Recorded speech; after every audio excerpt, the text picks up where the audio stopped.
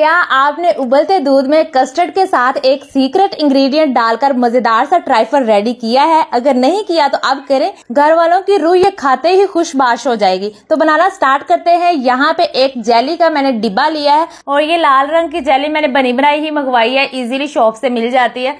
घर बनाने बैठती तो रेसिपी लंबी हो जानी थी। और भी मुझे बथेरे काम होते हैं। घर वाले मासी की तरह तो मुझसे काम करवाते हैं। अभी मैंने ना एक पौना गिलास पानी का लिया है। शीशे का आपने छोटा गिलास ना पानी का लेना है। लेकिन फुल गिलास नहीं लेना फुल से थोड़ा कम ही होना चाहिए। जब पानी गर्म हो जाएगा बॉयल आ जाएगा, फिर आपने जेली ऐड कर देनी है। अच्छा जेली ऐड करने के बाद आपने बहुत ज़्यादा पकाते नहीं रहना। जैसे ही ये डिजोल्व होगी, आपने उतार लेना है। तो मैंने अच्छी तरह मिक्स कर लिया है। जैसे ही ये सारी जेली जो है, ये मिक्सचर जो है डिजोल्व हो गया, फ़ौरन ही उतार लेना है। तो उतार के आपने एक बर्तन में शिफ्ट कर देना है, जिसमें आप जमाना चाहते हैं तो जब ये ठंडा हो जाएगा, फिर आपने एक घंटे के लिए फ्रिज में रख देना है। आप इस गरम गरम जेली को ऐसे ही लवारसों की तरह थोड़ी देर पड़ा रहने देंगे तो जब रूम टेम्परेचर पे आएगी, फिर हमने फ्रिज में एक घंटे के लिए रखना है। ये डेढ़ किलो जो है, दूध लिया है, और ये खालस मज का दूध है। अच्छा मुझे कमेंट आ रहा था कि ये माज क्या होता है? जैसे आप लोगों को पता ही नहीं कि माज क्या होता है। बफलो की बात कर रही होती हूँ, भैंस का तो पता ही होगा ना।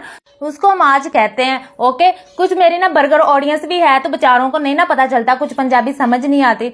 अब मैं कस्टर्ड बनाने की ना एग्जैक्ट मेज़रमेंट भी बताती हूँ। कुछ लोगों को ना आइडिया नहीं होता कि कितने दूध में हमने कस्टर्ड के कितने चम्मच ऐड करने हैं। आपने ये माइंड में रखना है, अगर एक किलो दूध यूज़ कर रहे हैं तो उसमें पाँच चम्मच आपने कस्टर्ड के शामिल करने हैं। तो ये डेढ़ किलो है, मैं इसलिए साढ़े सात चम्मच इसमें कस्टर्ड पाउडर के शामिल करूँगी। कुछ लोग पानी में मिक्स करके ना कस्टर्ड पाउडर फिर ऐड करते हैं। तो बेहतर ये है कि आप दूध में ही मिक्स करके फिर शामिल किया करें।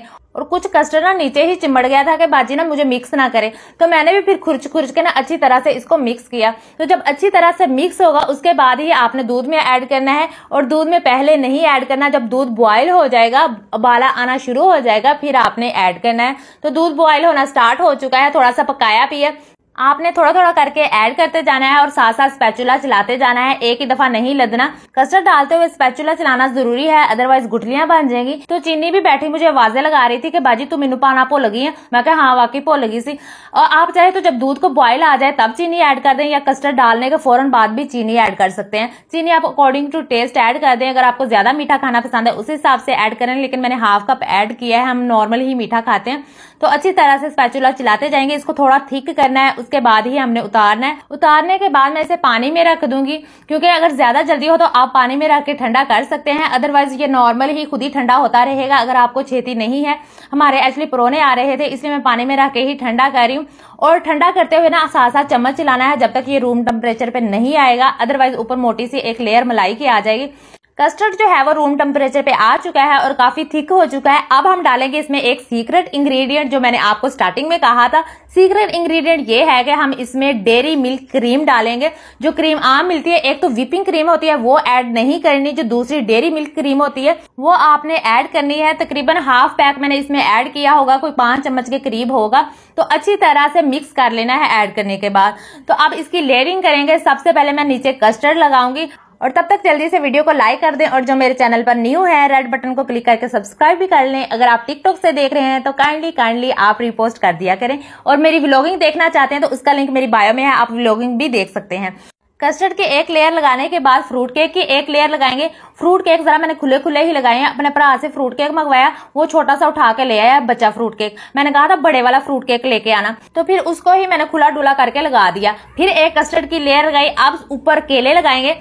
केलों को मैंने छोटे छोटे पीसेस में काट लिया है, केले भी कच्चे चूक कर ले आया। अब मैं उसको क्या कहूँ? ज़ाहिर है उसी से सौदा मुझे मंगवाना पड़ता है तो वो फिर ना अपनी मर्ज़ी का उठा के ले आता है।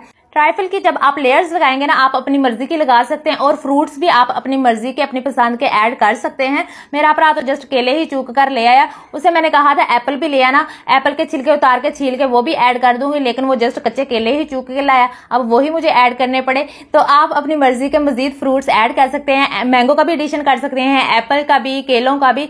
लेकिन शुक्र है कि जैली जो है वो घर में मौजूद थी तो जैली कहती बाजी मैं है ना मैं तेरा साथ दांगी तो फिर मैंने जैली को निकाला मैंने कहा ये साथ ना ऊपर डेकोर के लिए यूज़ कर लूँगी तो जेली जो है ठंडी हो चुकी है सबसे पहले इसके किनारे रिमूव करेंगे उसके बाद कटिंग जो है जेली की आप अपनी मर्ज़ी की कट कर सकते हैं लेकिन मेरे पास कुछ शेप्स पड़ी हुई हैं उसकी मदद से आज हम जेली की कटिंग करेंगे हार्ट्स की शेप है फ्लावर्स की है और भी बहुत सारी शेपें पड़ी हुई हैं तो मैं कहा हार्ट आज बनानी है जेली एक्चुअली रेड कलर की है ना, इसलिए हार्ट से ही बनाऊँगी।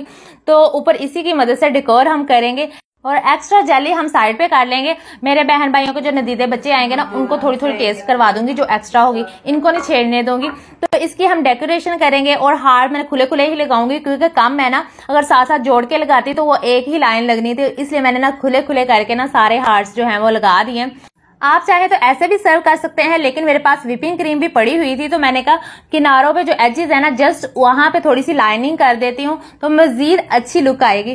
तो ऐसे आपने डिकोर करके और रैप करके ना फ्रिज में रख देना या फ्रीजर में रख देना है, एक घंटे के लिए, ये ठंडा यक जब हो जाएगा ना ट्राइफल फिर आपने सर्व करना है, मेहमान आए, उनको सर्व कर देना घर वालों को सर्व कर देना, सब खाकर खुशी से पागल ही हो जाएँगे। और यही थी आज की रेसिपी मिलेंगे नेक्स्ट रेसिपी के साथ, अल्लाह हाफिज।